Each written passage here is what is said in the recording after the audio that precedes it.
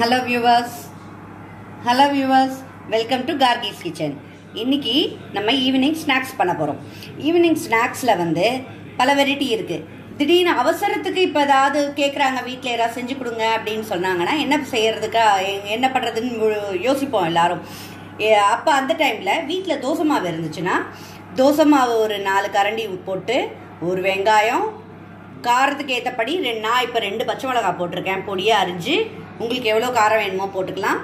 கொஞ்சம் ஒரு நாலு பீ கொ- நாலு பீஸ் கருவேப்பில் கொஞ்சம் கொத்தமல்லி வாசனைக்கு போட்டு கொஞ்சம் அரிசி மாவு வேணால் தோசை மாவு கொஞ்சம் லிக்விடாக இருக்கும். ஸோ அதில் வந்து கொஞ்சம் நம்ம அரிசி மாவு போட்டு உப்பு போட்டு மிக்ஸ் பண்ணி இந்த பேட்டர் இப்போ ரெடி பண்ணியிருக்கோம். இந்த மாதிரி பேட்டர் ரெடி பண்ணியிருக்கோம். இப்போ நம்ம ஆயிலை இப்போ நம்ம என்ன பண்ண போகிறோம் இதை வந்து அப்பம் குத்துற மாதிரி குத்த போகிறோம் ஸோ திடீர்னு ஈவினிங் ஸ்நாக்ஸ் கேட்குறாங்க யாராவது திடீர்னு வீட்டுக்கு விருந்தாளி வந்துட்டாங்க அவசரத்துக்கு ஸ்நாக்ஸ் பண்ண முடியலன்னா இது ஒரு ஈஸியான ஸ்நாக்ஸு டக்குன்னு பண்ணக்கூடிய ஸ்நாக்ஸாக இருக்கும். அதுதான் பார்க்குறதுக்கு என்ன பண்ணணும்? ஏன்னா இது அப்போ மாதிரி எடுக்க போகிறோம் ஒரு ட்ராப் விட போகிறோம் ஒரு ட்ராப் விட்டோம்னா அது அப்படியே மேலே எழும்பி வரணும். அந்த சூட்டில் அப்போ எழும்பி வந்தாதான் அது வந்து பர்ஃபெக்டாக சூடில் அடுப்பு இருக்குன்னு அர்த்தம். தட் இஸ் அந்த ஆயில் கரெக்டாக இருக்குன்னு அர்த்தம். ஸோ இப்போ இன்னும் வரல. So we have to wait திரும்பி இன்னொரு ட்ராப் ட்ரை பண்ணுறோம் இப்போ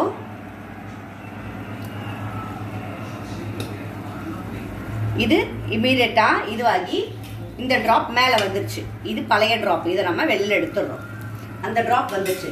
இப்போ நம்ம இதில் விடலாம். ஆயில் வி எப்பயுமே விடும்போது எண்ணெய்க்குள்ள கையை கொண்டு போகும்போது ஆயிலோட ஸ்பீடை கம்மி பண்ணுங்க அடுப்பு ஸ்பீடை கம்மி பண்ணிட்டு விடுங்க. ஏன்னா அது டைரக்டா அப்படி விட்டோம்னா கை சமயத்துல பேர்ன் ஆகிறதுக்கு ஒரு இது உண்டு. சூடு தாங்காம கை பேர்ன் ஆகும். ஸோ இப்போ நம்ம அப்பா குத்துற மாதிரி மேலேருந்து ஒன் டூ த்ரீ இந்த மாதிரி அந்த வானிலையில எவ்வளவு இடம் இருக்கோ அந்த அளவுக்கு நீங்க விட்டுக்கலாம்.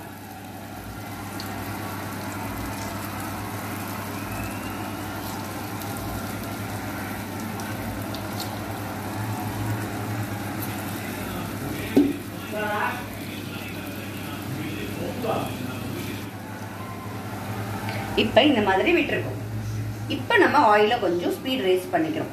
இதோட அடுப்பு ஸ்பீடை ரேஸ் பண்ணிவிட்டு இதெல்லாம் இப்போ திருப்பி விடுறோம். கொஞ்சம் ஒன்று ஒன்று ஒட்டி இருந்தால் நம்ம விளக்கி விட்டுக்கலாம்.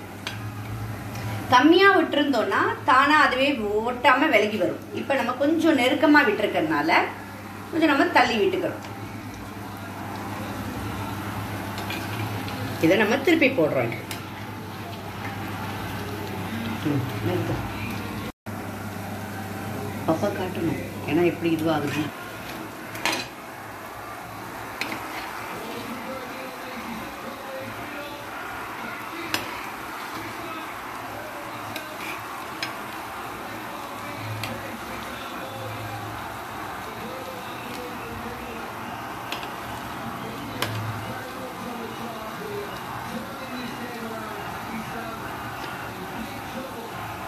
இதுவாகுது கோல்டன் ப்ரௌன் ஆயிடுச்சு. ஸோ இப்போ நம்ம அதை எடுக்க போகிறோம் ஸோ அடுப்பை கொஞ்சம் சிம் பண்ணிக்கணும். ஏன்னா திருப்பி நம்ம எண்ணெய் கிட்ட கை கொண்டு போகிறோம் கை சுடாமல் இருக்கிறதுக்காக இந்த மெத்தட் யூஸ் பண்ணுங்க எல்லாரும். சேஃப்டி மெத்தடை யூஸ் பண்ணிக்கோங்க. இப்போ அது கோல்டன் ப்ரௌன் ஆனதை நம்ம எடுக்கிறோம்.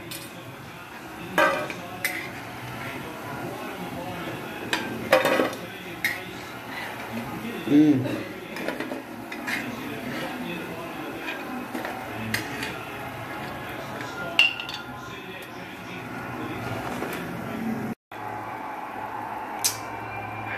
இப்போ இந்த மாதிரி ஒரு ஸ்நாக்ஸ் ஈஸியான ஸ்நாக்ஸ் இமீடியட்டா நம்ம ரெடி பண்ணிட்டோம்.